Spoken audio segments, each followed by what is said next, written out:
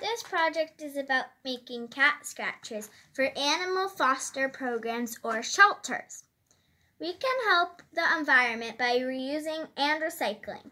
And we're going to give to a foster cat or kitten a fun new toy so it will be happy.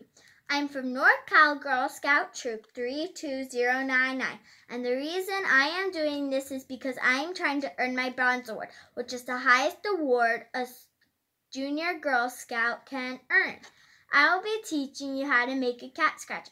So let's get started.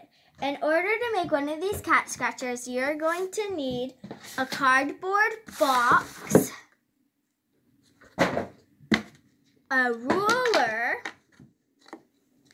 a marker, pen or pencil, a bottle of school glue, and scissors.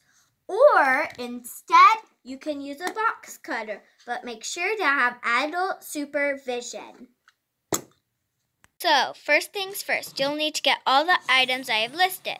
Once you have all your materials, you can begin. First, we'll take our box and cut about an inch high from the bottom to form the bottom of the scratcher. The reason why I'm doing this is so I can get a body for my box to keep all my panels in.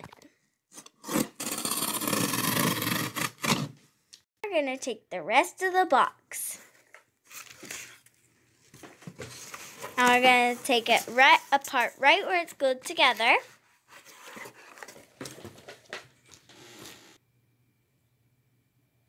Now take the ruler and mark it straight lines across the width of the cardboard.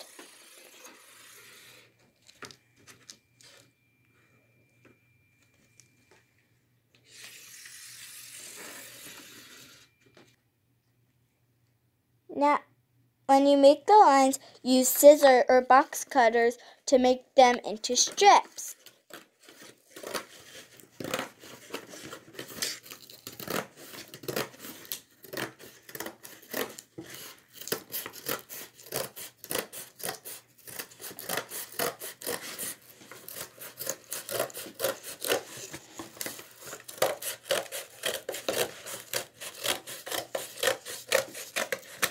Make sure the strips and keep making more with that more boxes until you have enough to fit in.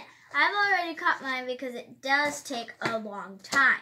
So we're going to make sure they fit in to the box. And what I did is I took my ruler and I measured the box and then I, I took a little bit less than that so they would fit in and I cut my strips to that length.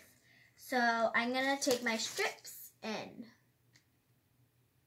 Glue the strips together, but don't glue them to the box. So what I'm going to do is glue them together to each other, but not to the box. So I have to make sure, and I have to use a little bit so I don't have like waste glue, and I don't want to use too much because we really don't need that much. So I'm going to keep doing this for a while.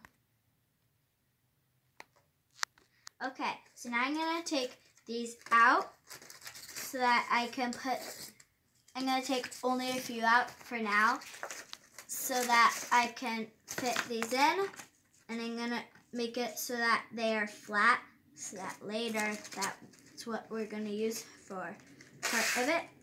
And then I'm going to put one in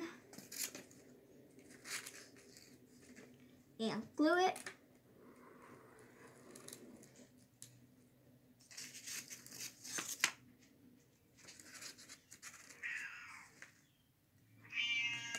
And push them down so that they all stay. Sorry.